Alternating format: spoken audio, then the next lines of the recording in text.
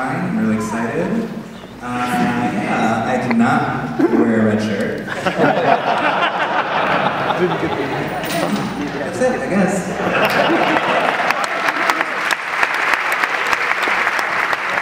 Just a quick shout out, these shirts, uh, Shabbat Dinner shirts were designed by Mark Grabner, who's sitting in the audience right there, so thanks so much. Well, I'll just start off with one question down the line. Uh, what was the inspiration for each of your wonderful short films? Well, I was working on a TV series about being gay and growing up in Los Angeles, being about 14 and sneaking around uh, for your parents. And so when I wanted to make a short film, I decided to take a scene from that. And so just uh, built something around that.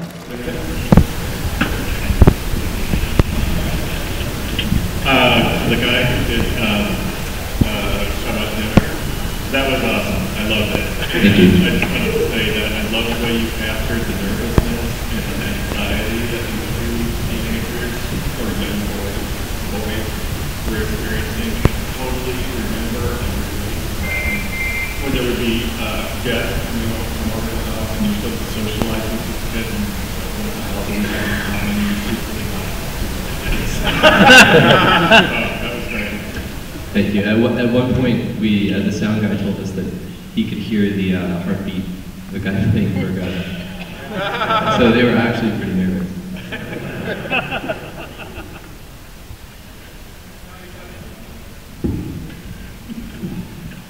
Hi. First of all, I want to congratulate you, all four of you, very, very good movies. And uh, Shabbat Dinner was amazing, really, how you captured the nervousness of the moment. I think we all feel related and went back to our youth and childhood and felt amazing. And I wanted to ask you, you and um, along with Mr. Carter, which I thought was beautiful too. At first, I was like, how can that little boy be in love with that old man? But uh, you did a great job explaining that. How do you approach those actors who are so young and? How do you ask for gay actors, or do you don't ask for that, just tell them, you know, I don't know, if you're straight, you think about a girl, but you're in love with an old man. How do you work with those kids? I mean, to do such a great job. All three kids in, the, in those two movies were amazing. Thank you.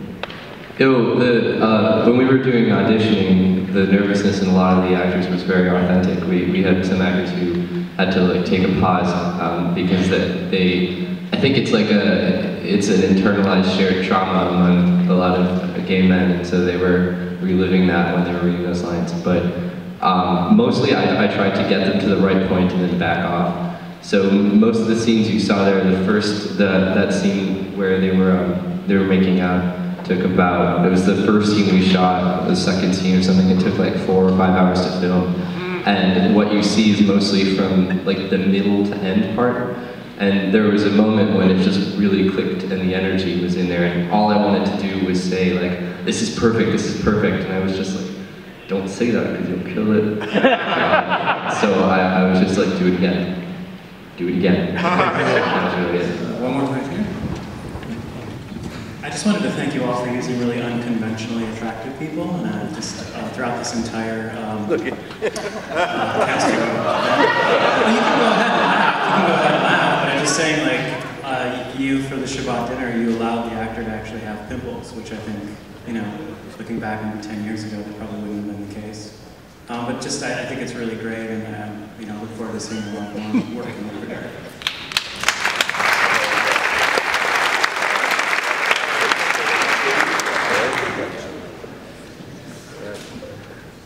All right, time for one more question. Anybody else? One more, right there.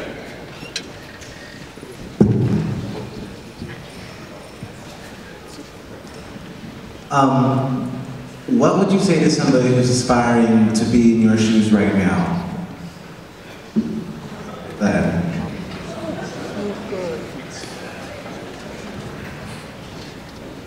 just go out and make a film.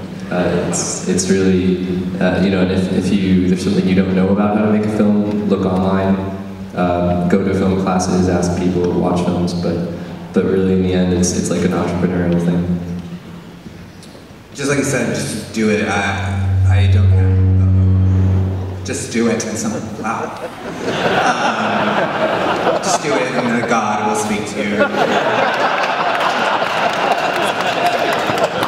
But I don't have any like formal training. I just started like, I was an actor and then I made like internet videos and then I just got more into it and um, just do it. You have find a friend or put it out on Craigslist. I shot mine in a day. It was just my friends, calling my friends to come over and do something. So just really figure out what you want and, you know, go towards it. Um, I would probably have taken a pee before the Q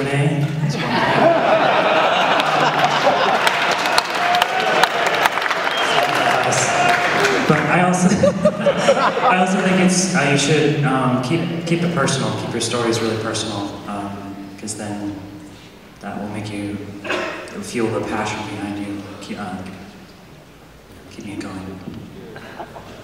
Yeah, I I agree. It, it, it's really all about the passion and about the script. If you don't have a script, you don't have anything. But I think that if you have a good script, chances are you're going to attract people who uh, might be very good actually willing to uh, work for free or next to nothing, and which is a major asset. It also—it also probably gonna cost you twice as much as you think, and you'll be twice as tired as you think, but it's very, very rewarding.